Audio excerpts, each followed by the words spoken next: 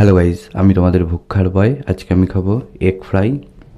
mutton curry সাথে basmati rice যদি ভিডিওটা ভালো লাগে অবশ্যই লাইক করে দিও আজ তাহলে খাওয়া শুরু করি